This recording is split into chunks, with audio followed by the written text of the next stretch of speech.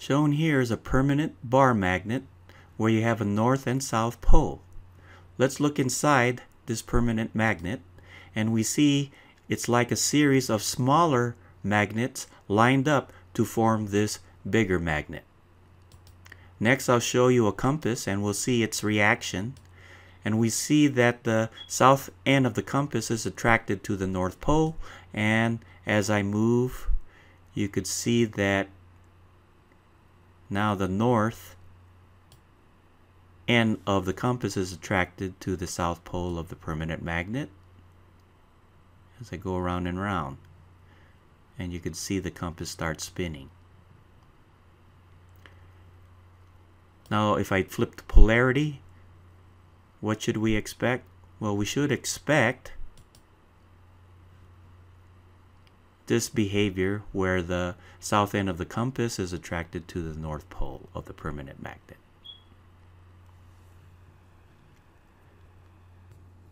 Now let's look at its magnetic field. And you can see it sort of forms a closed loop going from the north to the south end. Now if I show a compass, you could see the compass aligns with the magnetic field.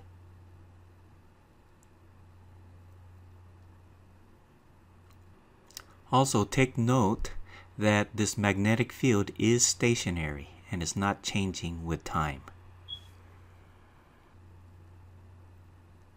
And next I'll show you the magnetic field gets weaker and weaker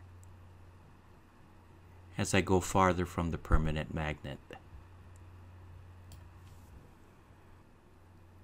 I'll show you the strength of the magnetic field with this magnetic field instrument or field meter.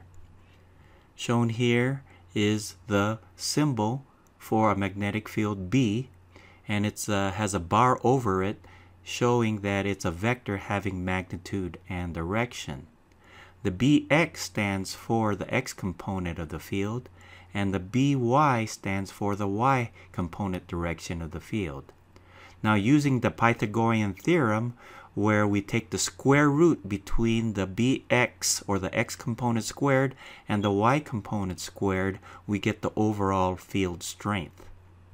So for example, let's say I take the field here and we could see that the y component is weak. Alright, I can get it so we know it's fully horizontal. Alright, and so most of the strength of the magnetic field is from the x component. And if I position the meter here, you could see that the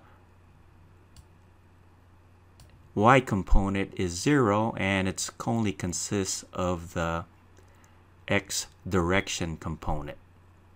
If I put it here, where it's nearly vertical,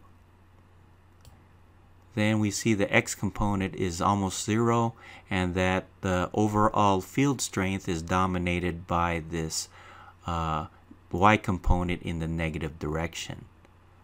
And likewise, if I put it in the positive, we see that the x component is nearly zero and that the overall field strength is dominated by the y component. Now let's start off very close to the magnet and you see that as I go farther and farther away, the magnetic field gets weaker and weaker on the positive side, and same goes with the negative side as well. As I go farther and farther, it gets weaker and weaker.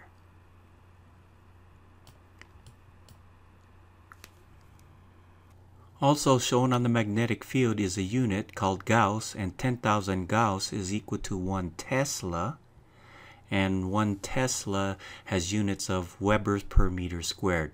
You'll cover this in more detail in your physics classes. Also shown here is the degrees with respect to the north. If I flip the polarity, we can see that it's close to zero with respect to the north. Right? So you can see here's the vector direction. This is along the zero angle.